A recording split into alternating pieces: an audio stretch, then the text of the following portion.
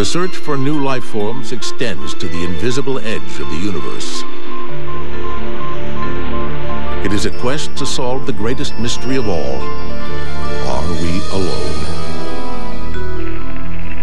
Even as scientists listen for signals of intelligence from beyond our galaxy, here on planet Earth, a search of another kind begins. In Northern California, investigators look for evidence of a man-ape that's still unclassified by science. Our quest for strange creatures takes us to the four corners of the globe, and finally, beyond the limits of the Earth.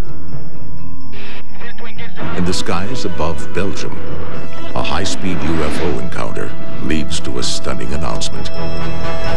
Just how close have we come to extraterrestrial contact?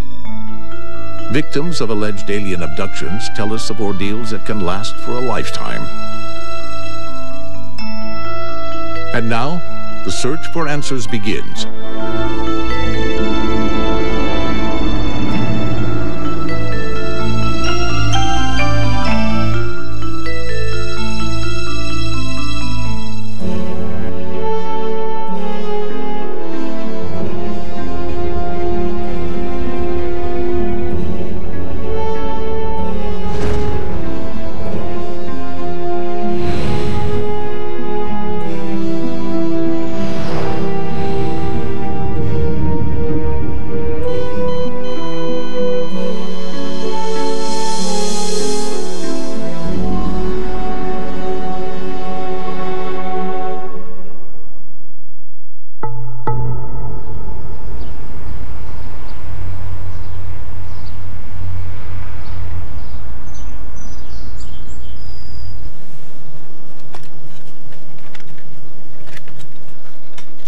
This is a man with a mission to prove or disprove the existence of a legendary creature. This is a cast of its gigantic footprint. Jeff Meldrum, a primate anatomist, is one of a handful of investigators around the world studying these extraordinary clues. From these tracks and some 1,500 U.S. sightings comes a profile of what some call a monster and others a missing link.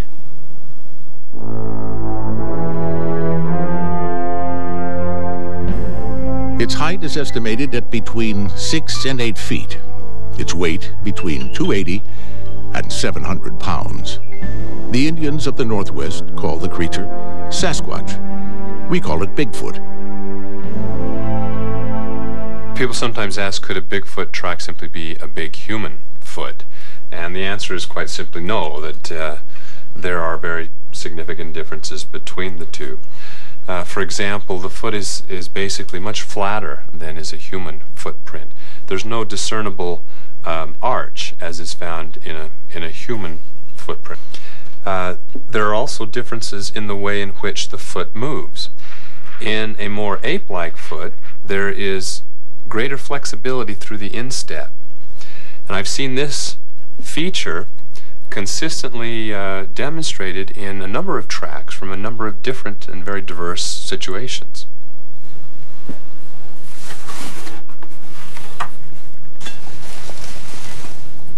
New tracks have arrived at Meldrum's lab, along with a home video from a fishing guide named Rich Gehr.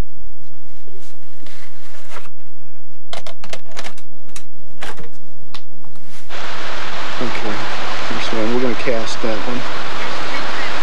And there's another one right there that's been stepped on by a dog. There's another cast right there. We're headed towards the creek at this point. A long-time tracker of Bigfoot, Gehr had come well prepared. He made casts of the footprints before following them deeper into the woods. Something moved and then I looked. And there was another down log 30, 40 foot away on the side of the hill and, and staring me sort of bent over, kind of like a linebacker in a football, you know, football game. Head kind of hunched back, looking down around the corner at me, um, was this furry creature. According to Gehr, the creature then fled into the forest. As it did, it left behind a few strands of body hair. Okay. How wild. This is unreal. Gehr sent them along to Meldrum for analysis. He just pulled some more off.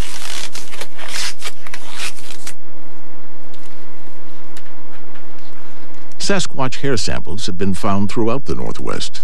Meldrum will have these examined at the university's lab.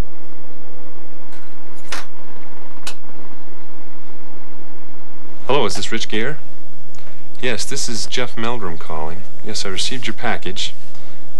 Yes, received, Meldrum will uh, soon visit the heart of order. Bigfoot country to Uh, meet Rich Gehr. Very interesting, especially uh, the hair samples. In fact, uh, a colleague of mine The search for Bigfoot continues. So I've spoken to uh, Rich Gehr, who sent me the videotape and cast and other materials. He's uh, found a camp for us here, right about there. In Orleans, California, Jeff Meldrum is joined by Richard Greenwell of the International Society of Cryptozoology in Tucson, Arizona. The Patterson phone. As a cryptozoologist, uh, my job is to, well, first evaluate claims, reports of what we call unverified animals and, and see if we can verify them. And of course, right here in California, we look for Bigfoot.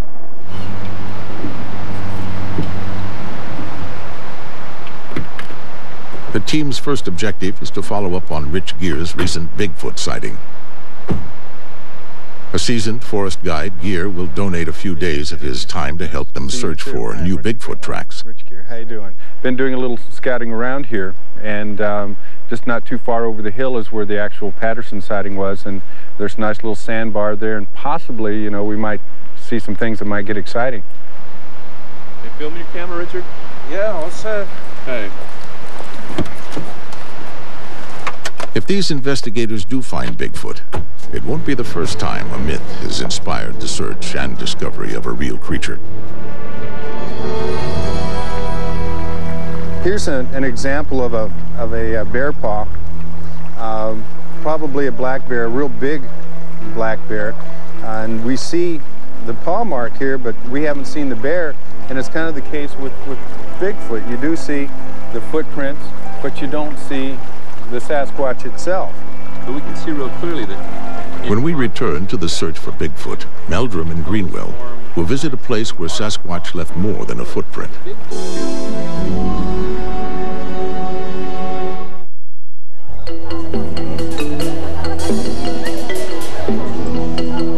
The search for real monsters has led explorers to the far corners of the world. In Asia, the dragon is a symbol of creation and destruction. But was it always just a metaphor, a sign? In this century, the word dragon would take on an entirely new dimension.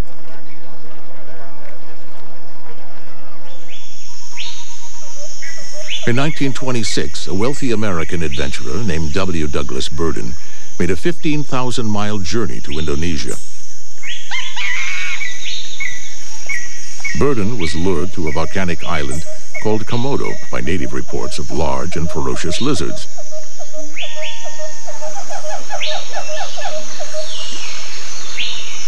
As Burden pushed into the unexplored jungles, the island of Komodo seemed like a lost world. After several days of exploration, he set up camp on a 2,000-foot plateau.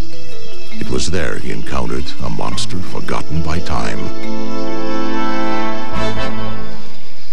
These are the world's first images of the Komodo dragon. Burden could scarcely believe his eyes. It is a real dragon, black as dead lava, whose every aspect speaks of infinite existence. Burden's film provided indisputable proof that his Komodo dragons were real.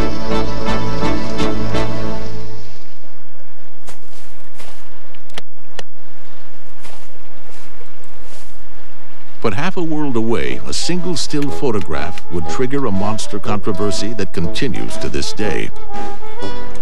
In 1934, an English surgeon named Robert Kenneth Wilson stunned the world with a picture taken from the shores of a lake in Scotland. For decades, witnesses here reported a giant beast swimming in the deep waters of Loch Ness.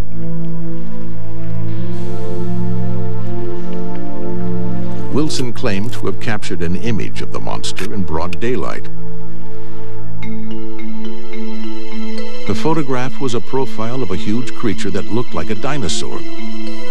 Nicknamed Nessie, the Loch Ness Monster, provoked claims of fraud by some scientists, but was hailed as a breakthrough by believers.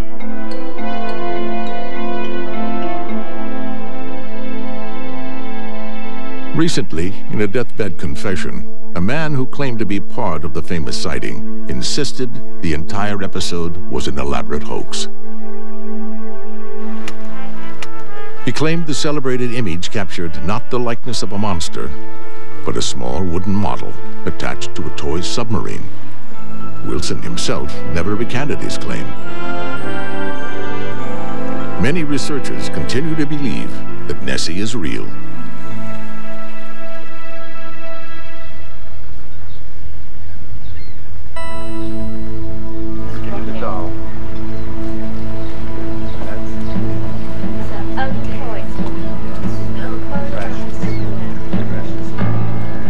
Today, we'd like to think we have conquered our fear of monsters of the deep.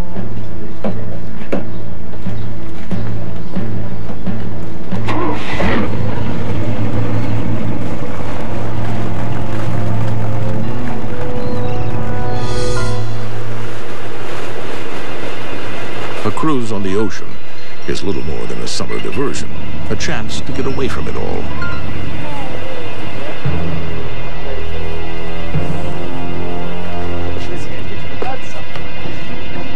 But buried in our primal hearts, the fear of what lies below haunts us still. The ocean's depths are alien territory, a place where nightmares do come true. The farther we fall into the abyss, the darker and the colder the visions. Logic vanishes, and suddenly we spy the faint outline of a monster. I think we need monsters. I think we need scary, uncontrollable creatures in the sea or out of the sea, for that matter, to give us the proper sense of humility, to demonstrate to us that we're not really in charge of this planet and we can't do whatever it is we want.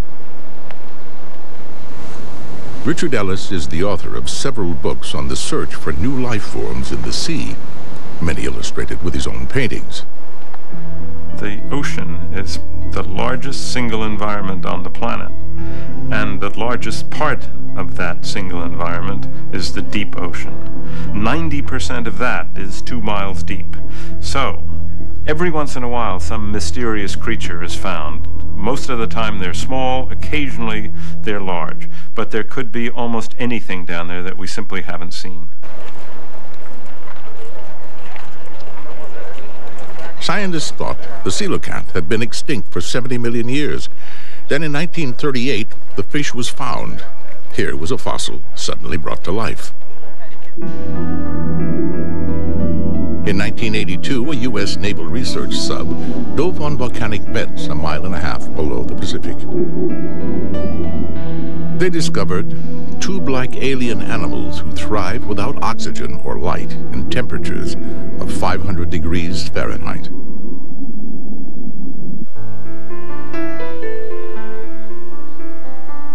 While these new finds intrigue Richard Ellis, the monster that's captured his imagination remains elusive.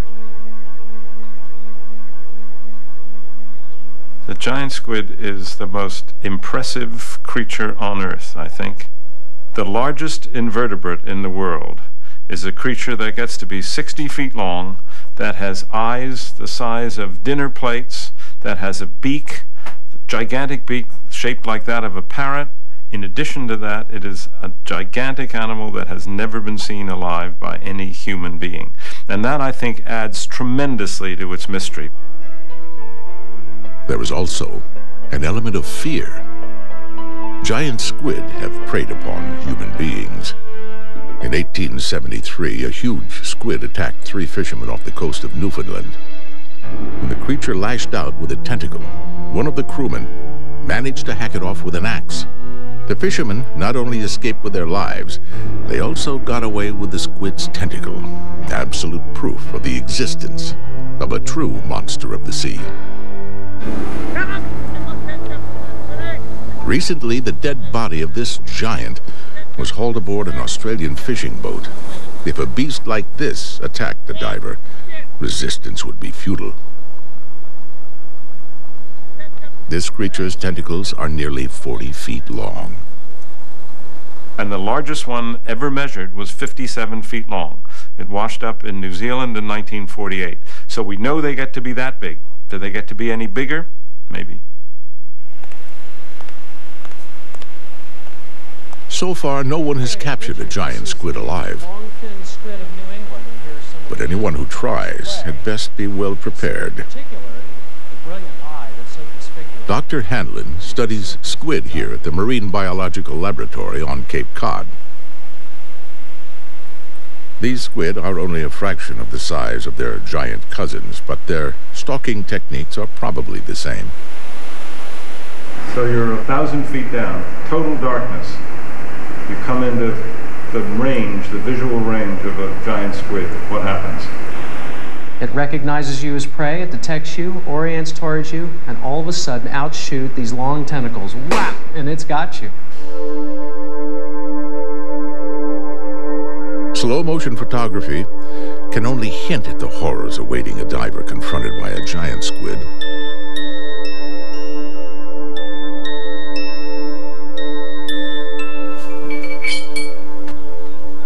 Marine researchers hope to find and capture a giant squid in the near future.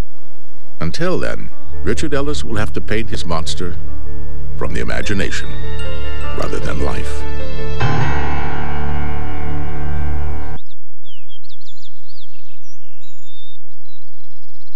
I get asked quite often if, if I believe in Sasquatch and Bigfoot. And my answer is usually, and, and, and has to continue to be for now, is on Mondays, Wednesdays, and Fridays, I believe in Bigfoot.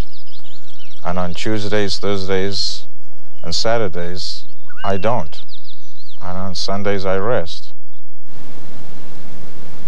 God, it's beautiful here. Yeah, it's vegetation really lush. You know, we pretty hard to find tracks here. Of all the Bigfoot sightings in the Pacific Northwest, none have matched the incident at Bluff Creek, California.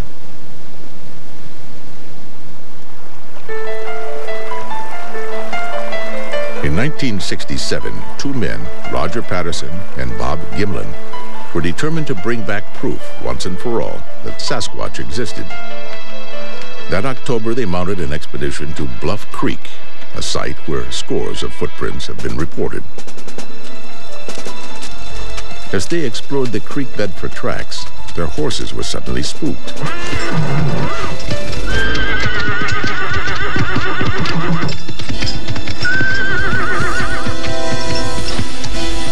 Gimlin stayed behind, but Patterson grabbed his Super 8 camera and raced toward the ape-like form squatting beside the creek.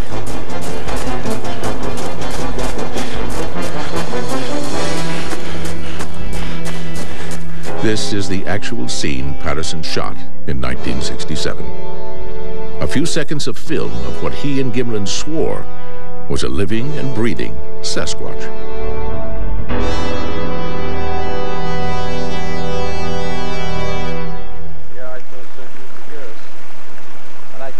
Jeff Meldrum believes that if the film is a hoax, it would have required a sophisticated knowledge of primate anatomy, something that Patterson did not possess. Uh, the subject of the Patterson film, for example, walks with a very bent-kneed gait.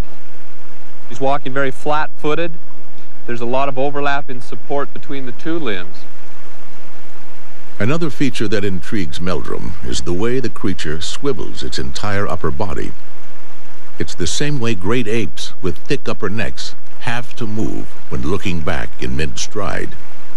So the fact that, that all of these features act in concert, and, and each time I, I see the film, new things sort of come to the surface, keeps bringing me back to the film to study it more and more.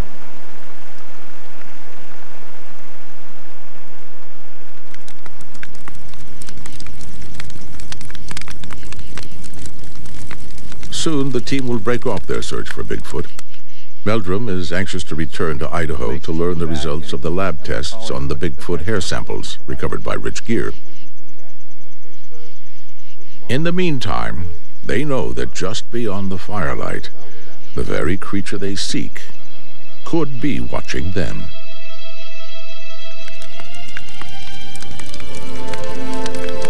Far above the realm of Bigfoot lies another frontier.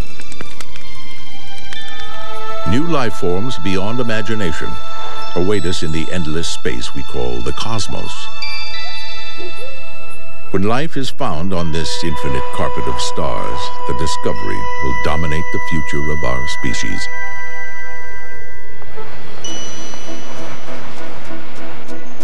Today, public opinion polls indicate more and more people believe in alien encounters. Witnesses on every continent have reported strange objects in the skies, unidentified flying objects that defy conventional explanation. In 1990, the Belgian Defense Ministry, through radar and visual observation, confirmed an outbreak of UFO sightings. At one point, Air Force fighters were sent to intercept the UFOs, which were simultaneously tracked by airborne and ground radars. The Belgian jets locked onto the objects for five seconds before the UFOs sped away at speeds that would have killed a human pilot. Thousands of witnesses, including the military and the police, reported sighting the UFOs. Consistent drawings of triangular objects were made by people scattered across the region. When authorities compared the sketches with eyewitness photos, the circle of evidence was complete. During this extraordinary press conference, Air Force Colonel Wilfried de Brouwer confirmed the sightings of unidentified flying objects in Belgian airspace. It was the first time a Western government officially admitted that such an encounter had occurred.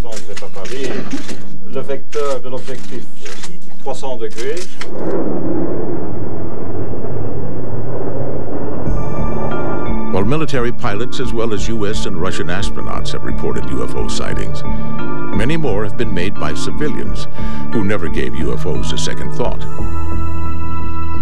There's a little sloop sailing north on the river. Sam Gerard and his wife Alice live along the Hudson River just north of New York City. Gerard is a retired oceanographer and senior research associate of the Lamont Doherty Earth Observatory of Columbia University. Alice is a former school administrator. Yes. Well, I really didn't know anything about UFOs before this incident. I thought they were most unlikely, uh, and I didn't really believe uh, in people who said they'd seen them until I saw one myself. As a scientist, uh, I was a complete agnostic. Uh, if I were to see one, I could then believe in it, but uh, just to hear accounts of their existence was not any scientific proof as far as I was concerned. On March 16, 1996, the Gerards were driving east on Veterans Memorial Highway. At 5.45 p.m., they saw a low-flying object through the trees. We slowed down enough to determine that it was probably neither a helicopter nor a light plane. Sam and Alice followed the object to Lake Tappan, where it hovered in one position high over the water. Sam made this sketch of a UFO covered with flashing lights. Uh, you could see these lights even though it was a bright sun uh, from the west and back of us. It looked like a piece of junk jewelry because the lights didn't seem to be arranged regularly. They were uh, sort of bright. Uh, they all seemed to me to be like electric light bulbs. That, that were in the article in the paper that we Sam Gerard has designed instruments that were adapted for use during the Apollo project to the moon, but nothing in his experience explains the object he saw that afternoon.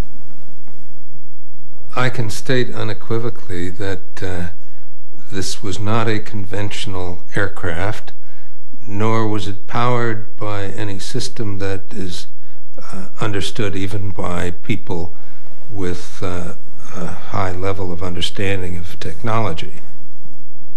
Sam and Alice's encounter is the latest in a series of American sightings that began in a period following the Second World War. Clustered around a two-week period in the late 1940s, reports came in from all 48 states. The modern UFO era began in 1947 when Kenneth Arnold, a private pilot over Washington state, sighted a chain of objects skimming along over the mountaintops. And he said that they flew like a saucer does when you skip it across water. And that's the origin of the expression flying saucer.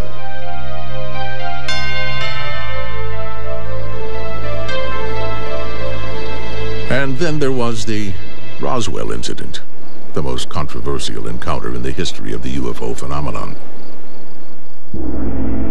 In July of 1947, a local rancher named Mac Brazel discovered fragments of a metallic material spread over a quarter square mile of his land. It looked like a crash site.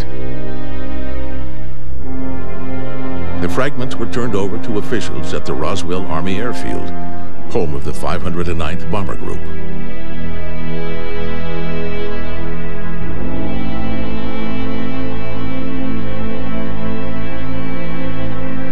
Roswell is now a civilian airfield but for Air Corps veteran Walter G. Haut, it seems like only yesterday when he was summoned to the office of his commanding officer. Well, that day of uh, July the 8th, 1947, I was given information by Colonel William H. Blanchard, the commanding officer. Haut, the base's public relations officer, was told by his boss that a UFO had crashed just outside Roswell and the release that he wanted me to put out and hand deliver to the four local media in essence stated that we had in our possession a flying disc. It was being flown to higher headquarters 8th Air Force in Fort Worth by Major Jesse Marcel who was our base intelligence officer. While admitting it had recovered a UFO, the military never made mention of any alien bodies.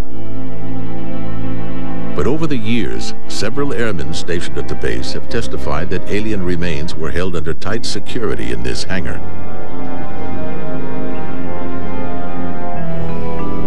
A mortician who worked in this Roswell funeral home testified that base personnel inquired about the availability of four child-sized coffins and a nurse at the base hospital claimed to have witnessed surgeons performing an autopsy on beings that could not have been human. She was transferred overseas and disappeared. Then, just a day after the UFO press release, the same officers from the Roswell base denied that any alien aircraft had been recovered. According to the revised story, the wreckage found by Mac Brazel was from a weather balloon and not a flying saucer. I was told by Colonel Blanchard, who I had all the faith in the world in, that we had in our possession a flying disc, and all of a sudden the general uh, overrides it and says it wasn't. It was a weather balloon. I honestly, in my own mind, couldn't visualize Jesse Marcel, Major Marcel, the intelligence officer, making that big a blooper that he wouldn't know a weather balloon from something else, nor would Colonel Blanchard have not known that it was not a weather balloon. This was quite a, a revelation.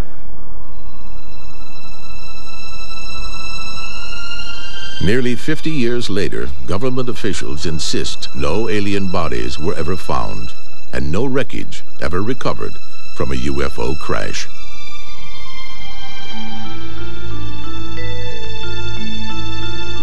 In 1994, a non-profit UFO group commissioned a detailed review of the Roswell incident using top-secret documents recently released by the U.S. government. It was prepared by Karl Pflock, the former U.S. Deputy Assistant Secretary of Defense. His report has shocked many who believe in Roswell. The project uh, that I believe was uh, responsible for the debris that uh, was discovered by rancher Mac Brazel and which led to the announcement of the capture of a flying saucer was, was a project codenamed Mogul. And uh, it was classified top secret. It was very sensitive. It was a very high priority project. It was operated by a team from New York University.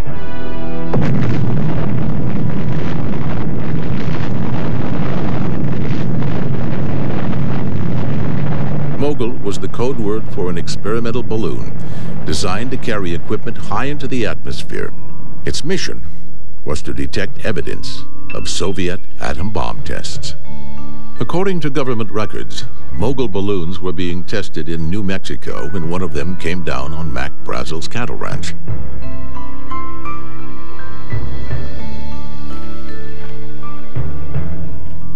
While Project Mogul explains the strange debris found on a cattle range, there's no explanation for the rumors of alien bodies. Karl Pflock believes that it's time for the government to acknowledge whether any remains, alien or human, were ever held in secret at the base. Perhaps then, the Roswell incident can be truly...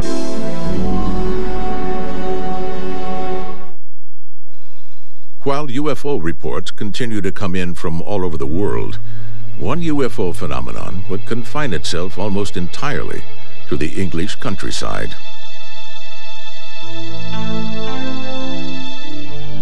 Late in the 1970s, startling evidence of possible alien encounters emerged in the form of strange circular patterns on agricultural land.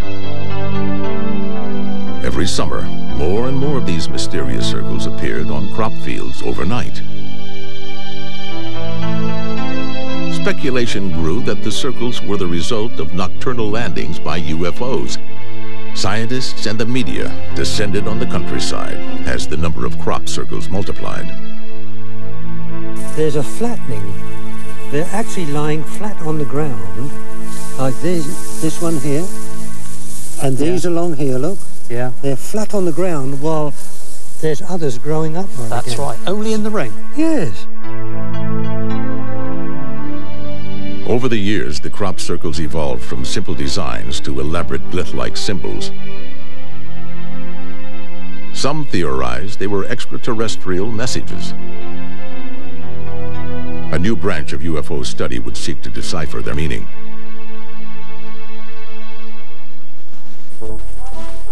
By 1993, the mystery had become a national obsession.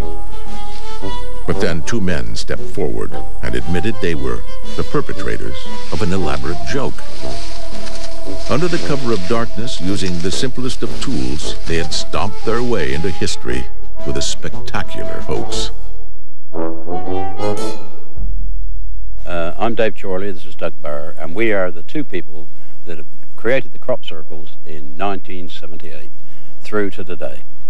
We uh, started doing the patterns and uh, last year we did the first pictogram at the bottom of Cheesefoot Head and that caused quite a sensation. And uh, since then um, the furor's got more and more and more people from overseas coming over because it's uh, something that's even away from the circles it's more and more important you see. And uh, they're just uh, scratching their heads. They're still scratching their heads 13 years later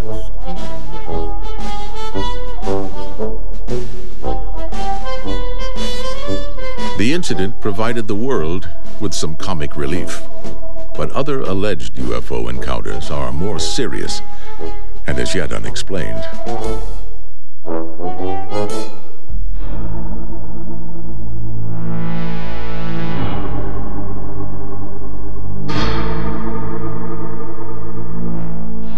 These are sketches of alien abductors made by their victims.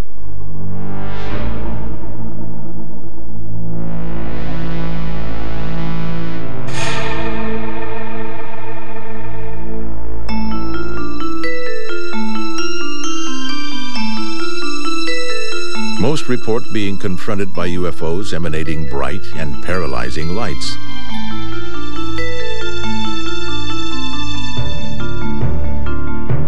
Others claim to have been abducted from their cars and homes.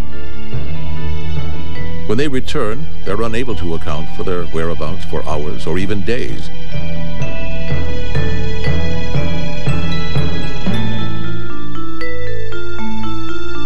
Abductees say they're often restrained and subjected to painful physical tests, invasive procedures focused on sexual organs. Some people who claim to have been abducted exhibit round depressions called scoop marks, as if a layer of cells had been surgically removed from their bodies. Others suffer long cuts and straight-line gashes. Bud Hopkins has written two books on abductions and has interviewed hundreds of abductees. You get very, very few hoaxes because a person is calling you saying, uh, I don't know what happened to me, I might be losing my mind, I don't want you to call back to my house because I don't want my wife to know that I've talked to you, I don't know what's happening, etc. Uh, and they insist on anonymity and so forth. There's hardly a, uh, the motivation for a hoaxer in that. There's no way that you cover yourself with glory. Oh, I never uh, thought about UFOs. Um, never really occurred to me at all about even their, their possibility until I was 17 and it was in my face and there was no way to avoid it. Chris Hinton is a 42-year-old assistant building contractor in Washington, D.C. He provided this interview in hopes of helping other victims.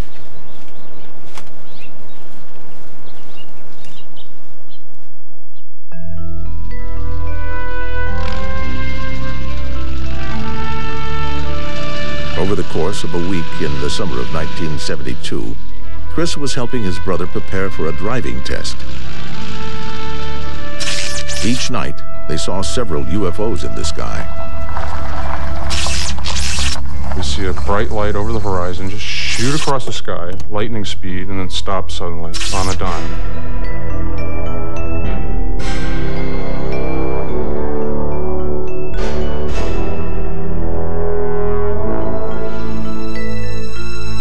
This voice explains, as this light projects off the side of the ship, we're hypnotizing you.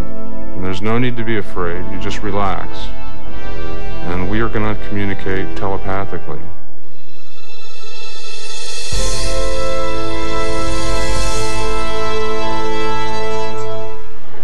By 1992, stories like Chris's had become so widespread that a special conference was convened at the Massachusetts Institute of Technology to investigate alien abductions. Sponsored by the Fund for UFO Research, it was attended by prominent scientists, abduction victims, and UFO researchers. Studies have been conducted that show that abductees who don't know anything about the UFO subject, they don't know what other people have reported, still will come out with the identical story in exactly the same sequence. But scientists at the conference wanted hard proof. We hear tales of people being abducted. We hear heartfelt stories. Uh, these people are clearly affected by what they've imagined or seen or something. But we never get a real piece of evidence.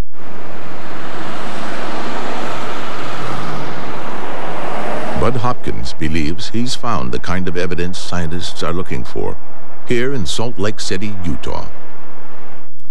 This woman and her son had an abduction experience. To protect their privacy, they requested we mask their identities. Their ordeal began on a drive home from a family get-together. And all of a sudden, we were hit by that bright light, just a bright light. That came from nowhere. Uh, I couldn't see the road. I knew I was moving. I looked over at him and I told him I can't see the road. And that's the last of my memory. My recollection is my mother let go of the steering wheel, and at that point, I reached over and grabbed it. I can't remember going home. I can't remember the next day. Like many abductees, memories of intrusive alien surgery began to haunt Joan. A year later, an accident would reveal some extraordinary evidence. I hit my head on the fireplace, and I was out unconscious for about 45 minutes. I woke up and made it to the phone and called my parents, and they came and took me to the hospital. And they x rayed my head.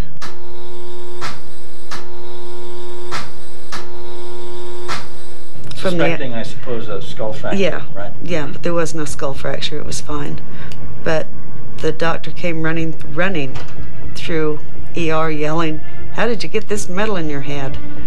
Well, I had no idea, neither did my parents. I've never had a head injury to where I could get metal in my brain. The radiologist report indicates an oval metallic object of unknown origin is lodged in the parasagittal region of the woman's brain. The official hospital report goes on to state, the appearance is unusual for an artifact, and certainly the pattern would be worthy of pursuit.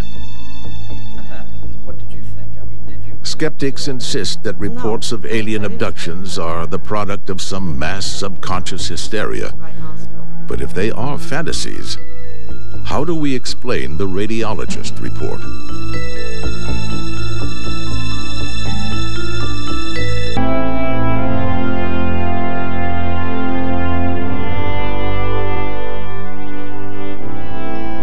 Just north of Boston, Massachusetts, the Billion Channel Extraterrestrial Assay, or BETA project, is an ambitious scientific search for extraterrestrial intelligence. a joint project of Harvard University and the Planetary Society of Pasadena, California. This radio telescope is listening for a signal from outer space.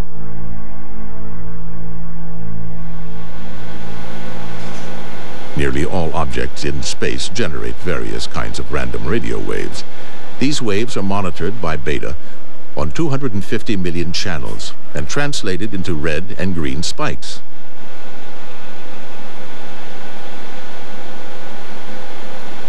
If alien cultures are trying to communicate to other civilizations, a strong radio beacon would be a logical way to say hello. Should Beta spot an unusually strong and steady signal, its powerful computer would peg it as an alien radio beacon. Dr. Paul Horowitz of Harvard University directs the project. Life elsewhere in the universe, guaranteed life elsewhere in our galaxy of 400 billion stars, guaranteed. Intelligent life elsewhere in the universe, guaranteed. Intelligent life elsewhere in our galaxy, so overwhelmingly likely that I'd give you any odds you like. I think the tough part is, is the intelligent life interested in communicating? Are they sending messages by method that we can detect in our direction? at a power level sufficient for us to detect.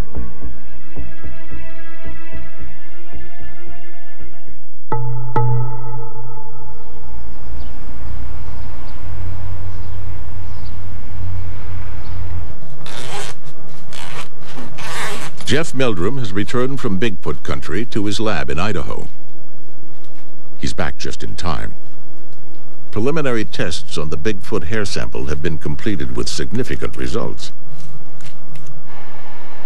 The hair strands from Northern California are strikingly similar to alleged Sasquatch samples from other states. DNA studies will soon compare the hair with samples taken from gorillas. If in fact the, the DNA compares most closely to the living great apes, then it's it's strong evidence that uh, that Bigfoot is in fact part of a, a very early ape lineage that uh, gave rise to the modern living apes such as chimps and gorillas. The initial results of the DNA tests did confirm the hair samples from Northern California are of animal, not human origin, and are not of any species known to exist in North America.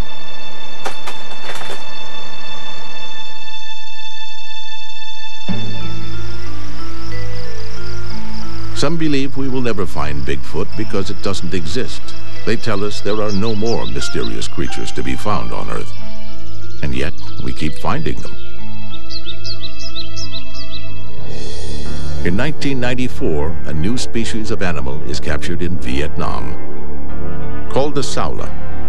It's the largest new mammal to have been discovered in the past 50 years. That same year, another deer-like creature, the giant muntjac, is found in nearby Laos. In Antarctica, scientists uncover a meteor from Mars.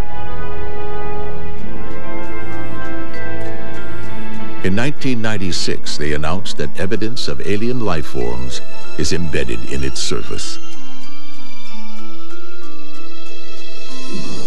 Based on these spectacular revelations, who can predict what unexplained mysteries await us still?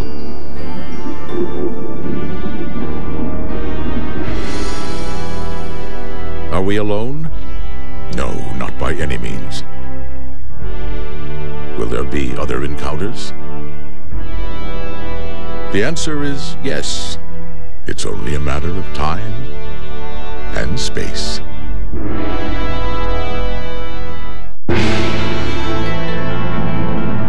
For today's newest and latest science information, log on to Discovery.com. Daily features link you to the world. Real-time facts, up-to-date info, and live debates and topics can always be found right here, right now at Discovery.com. Thank you.